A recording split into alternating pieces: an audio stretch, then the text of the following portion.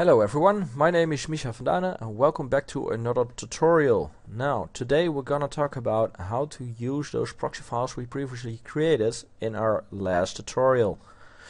Now, first off, let's talk about a little bit about the sequence settings. Make sure that the sequence settings are the settings you want to export in. So make sure that your sequence settings are the settings that you'll finally use for export. Now, let's get started. I've made some uh, proxy files here so I can edit with it and we're gonna drag them onto the timeline.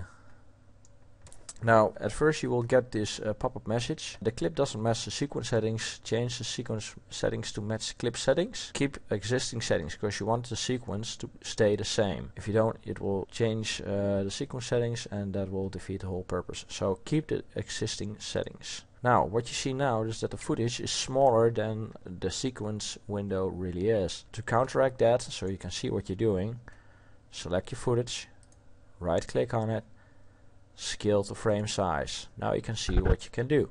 Okay, once you're done editing, we're going to replace these proxy files with the real files. So we can start color grading, adding effects, texturing, you name it. Now, to do that, select all of your source footage right click on it and click make media offline. Now the question pops up media files remain on disk or media files are deleted. Click remain on disk because you don't want those files to be gone once you're done. Click OK. Now the cuts are still here but you see no video. That's because we unlinked are cut from the source video. Now, on to the next step. Right click again on the selected source footage and click link media. Go to the real footage and click the very first one. Now, um, before we proceed, I have to explain something.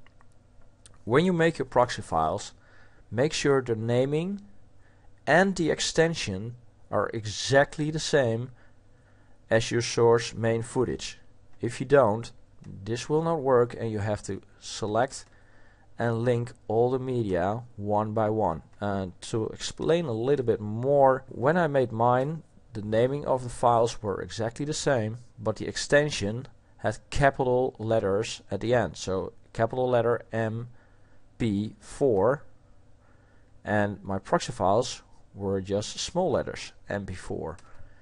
Now this made the difference that it couldn't li be linked all at the same time, so I had to relink all the footage one by one. Now you don't want that, make sure that as well as the naming as the extension are exactly the same or this won't work and you have to relink one by one. With that out of the way, click the very first one, you don't need to select them all, just click the very first one and click select locating media and here you have it HD quality.